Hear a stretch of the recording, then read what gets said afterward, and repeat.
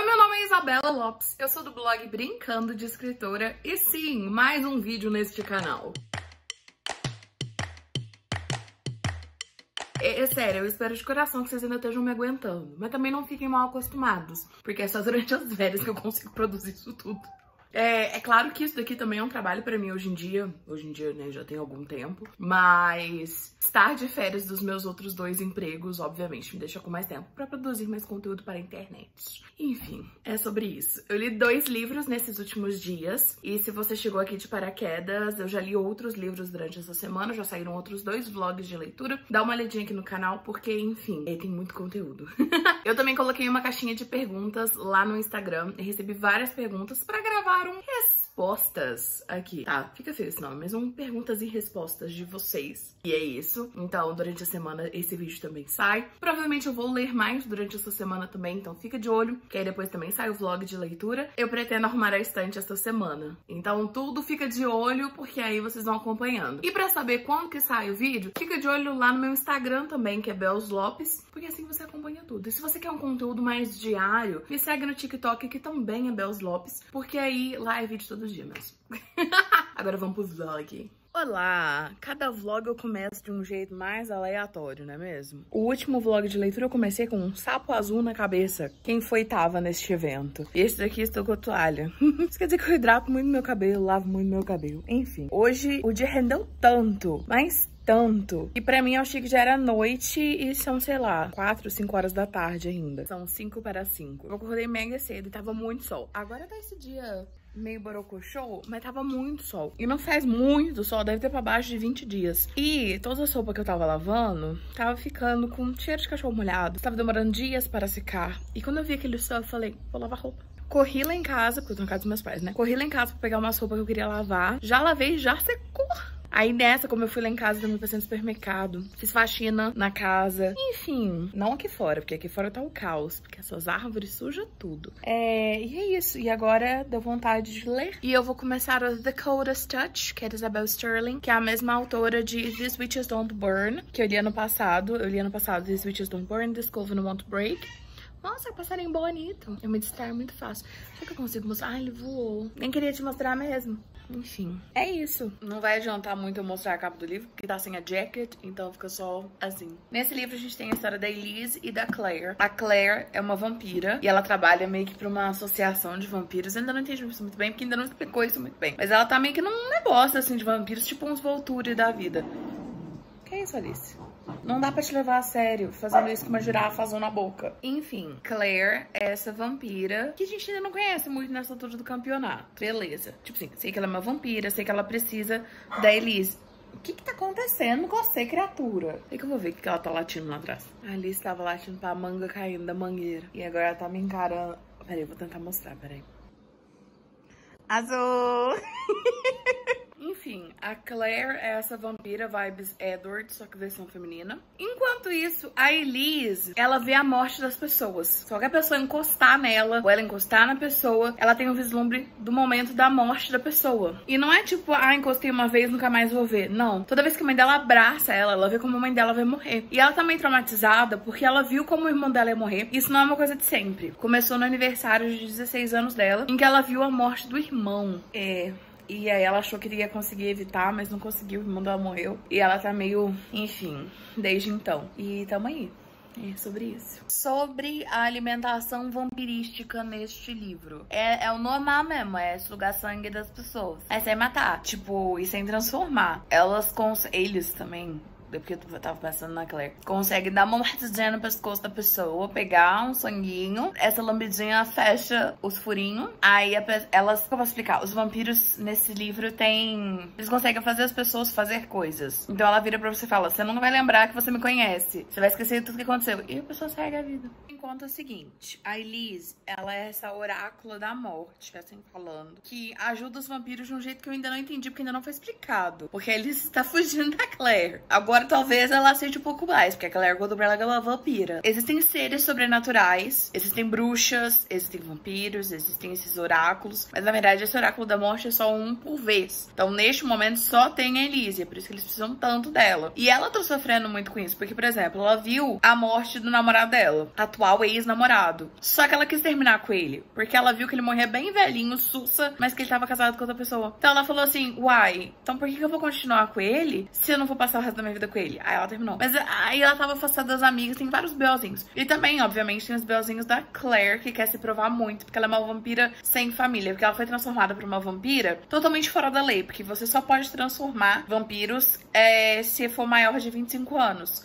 Tipo, a pessoa que vai ser transformada. Mas a Claire tinha 17. Então foi meio que fora da lei, a pessoa saiu fugida e tal. E inclusive ela quer ser mais respeitada, assim, falando por essa associação vampiresca e sobrenatural, para que eles ajudem ela a achar a Rose, que é a pessoa que transformou ela, a vampira que transformou ela, porque ela quer se, quer se vingar. O livro usa pronome neutro em inglês, acho legal comentar. Não é tão como é que eu posso falar? Estranho não é a palavra, mas é um pouco a palavra, no sentido de que no português a gente ainda dá umas travadinhas no elo, delo e afins, porque, enfim, ainda é uma coisa muito nova e que não existia antes. Agora no inglês eles usam pronome neutro they, their, seria o plural de he, she, it. Então, enfim, mas um dos, dos vampiros que ajuda, na verdade, tipo, eu não sei como é que eu colocaria esse pronome em português, desculpa, gente, eu tô aprendendo. É, mas enfim, é, essa pessoa, esse vampiro, é, o vampira, o vampire, ah, esse vampire, ah, usa they, win, e o pronome é they, their.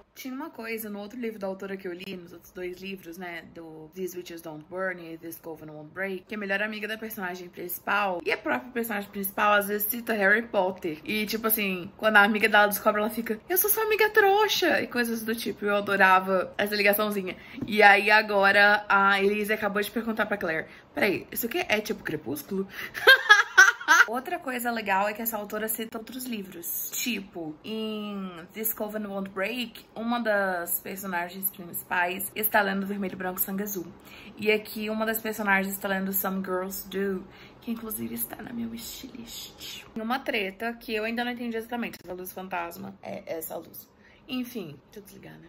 A Elise vê a morte das pessoas, blá blá blá, e a Claire tá tentando ensinar ela a controlar isso. Porque o Veil, que é tipo o Véu, que é que controla essas coisas sobrenaturais e tal, precisa dela. Só que ela conheceu outra vampira, que é a Delilah, que falou que, enfim, olha, esse Veil aí, cilada. Não sei o que eles estão te contando, mas ó, tá aqui o diário da última orácula da morte. E você não vai gostar muito do que você vai encontrar aí, não, viu? Eles vão te fazer de escravo. E aí ela meio que tá lendo esse diário e tentando entender onde que ela vai. E assim, os poderes dela são insanos. Ela ainda não descobriu nem, sei lá, 10% do que realmente é esse poder dela. E é doido. Mas isso não quer dizer que a Claire tá mentindo. E nem que a Delilah tá mentindo. É que tem muito mais do que.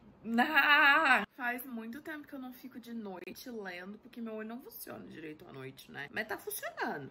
Não vou jogar praga também, não.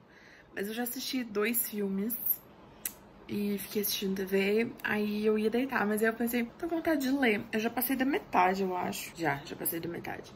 E eu ia parar. Só que aconteceu um trem, que eu não posso falar, que é muito spoiler. Eu não posso parar de ler, porque eu tenho que entender. Bom dia. Mas antes de tudo, vamos apreciar a Lilica abraçada na Gigi? Gigi é a girafa que eu dei pra ela. Ela tá dando uma chave de pescoço no Gigi? Sim, mas isso é amor. Ontem à noite eu ainda li bastante, mas ainda faltam menos de 100 páginas agora. Mas ainda falta um critiquinho, porque eu fiquei cansando. Mas ainda quero entender onde que isso vai chegar, porque eu não faço ideia de onde isso vai chegar. Não no sentido negativo, muito pelo contrário, porque eu realmente não imagino uma solução pro rolê. Uma solução que vai dar certo. É clichê, é sessão da tarde, igual os outros livros da autora mesmo. Mas eu tô na reta final e, assim, é uma grande mistura de um filme da Sessão da Tarde que esbarrou num filme do Disney Channel. E é maravilhoso, muito brega. E, tipo assim, é muito vibes os outros dois livros da autora, no sentido de que, assim, são soluções bobas, são coisinhas, assim, é um livro mais 12, então isso é óbvio que vai ser mais ou menos assim. Mas eu estou adorando e eu estou doida pra ver onde isso vai parar. É isso.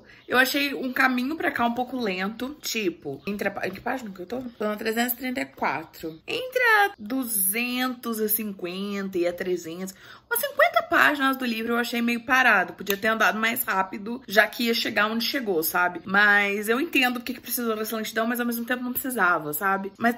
Ah! Tchau, vou ler. Muito breguinha, muito amorzinho, cinco estrelas, e é sobre isso. Mostrei como ficou a lateral. Vai fazer sentido a lateral quando eu colocar a jacket, porque eu fiz as cores combinando com a jacket. O bom filho, a sua casa própria retorna. eu passei, estou em casa.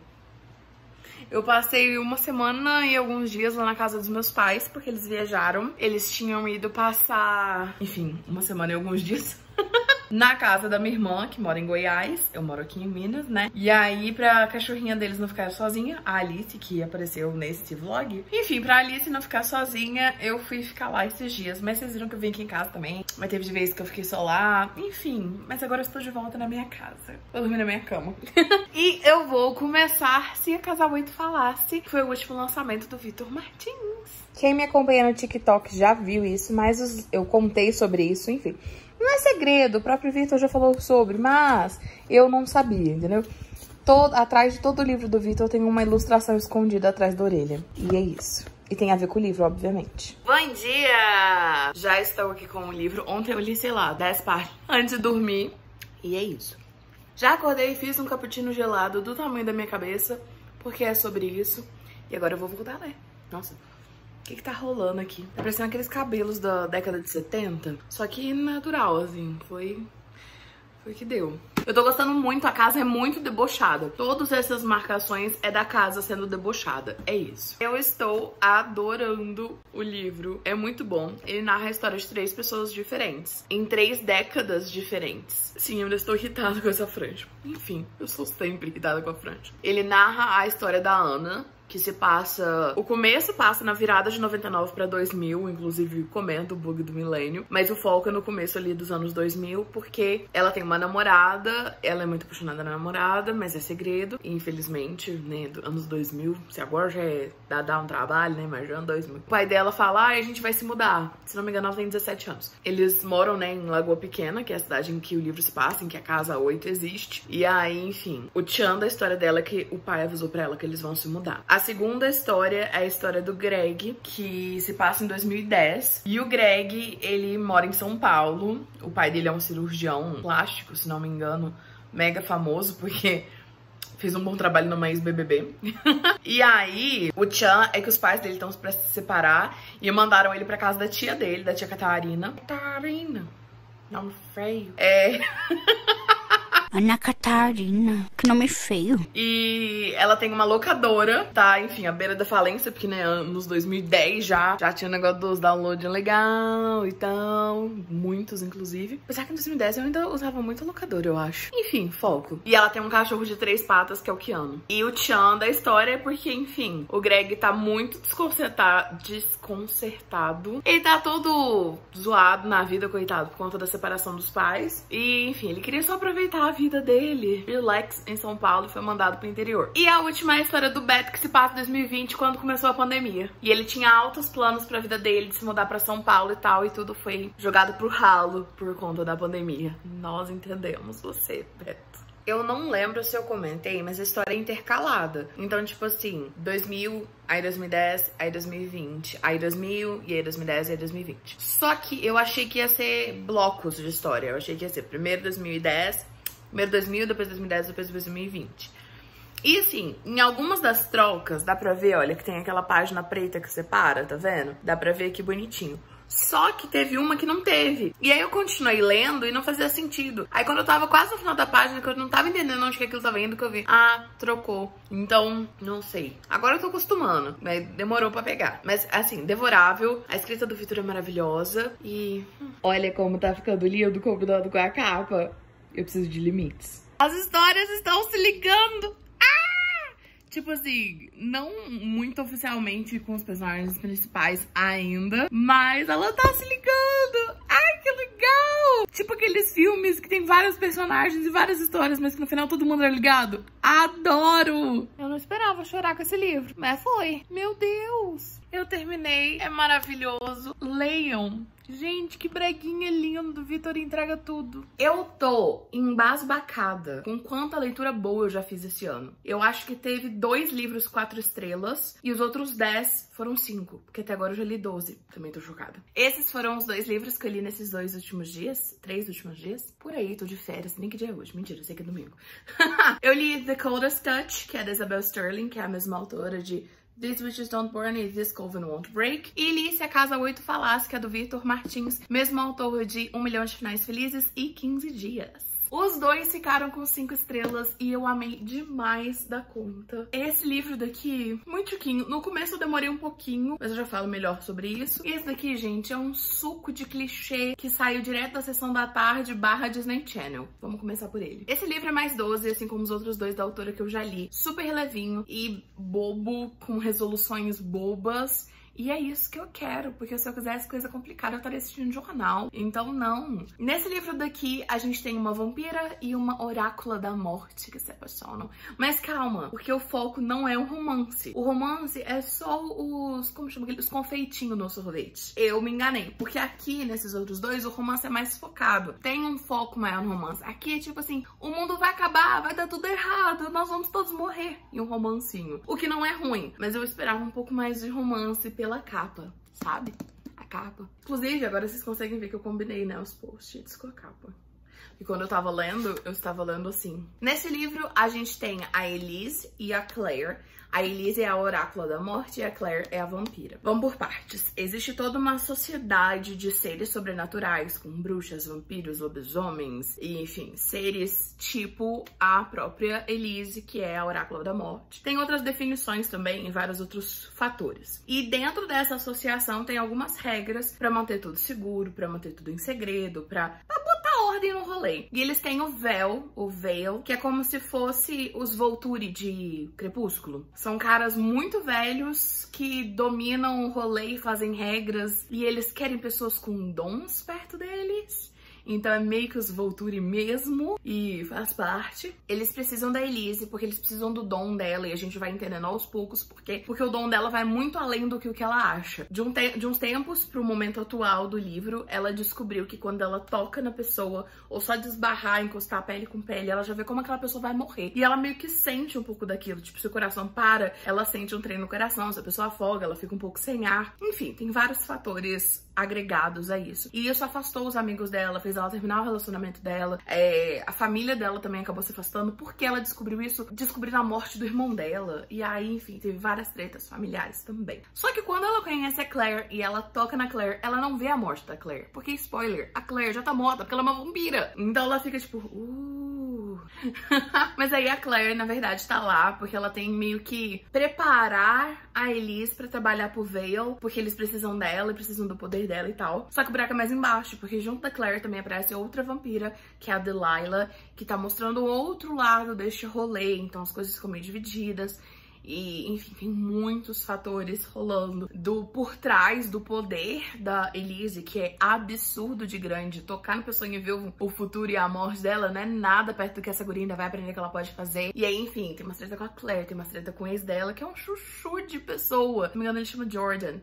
Maravilhoso. A melhor amiga dela também é fantástica e me lembrou muito os rolês dos outros livros da autora que eu li, em que os personagens, tipo, secundários barra melhores amigos da principal também são fenomenais. Então gostei bastante bastante disso. Eu achei o final, assim, bem aberto, então eu acredito que venha uma continuação, que nem foi com o These Witches Don't Burn mesmo. Não só porque o relacionamento ainda tava meio que no começo e eu acho que tem mais pra mostrar, mas porque realmente vai ter mais pra mostrar. Porque eu não posso dar spoiler, mas muitas coisas levam a acontecer outra coisa que, enfim, eu quero ver mais do poder da Elise, eu quero ver mais do relacionamento dela com a Claire. E eu acredito que a autora vai querer entregar isso também.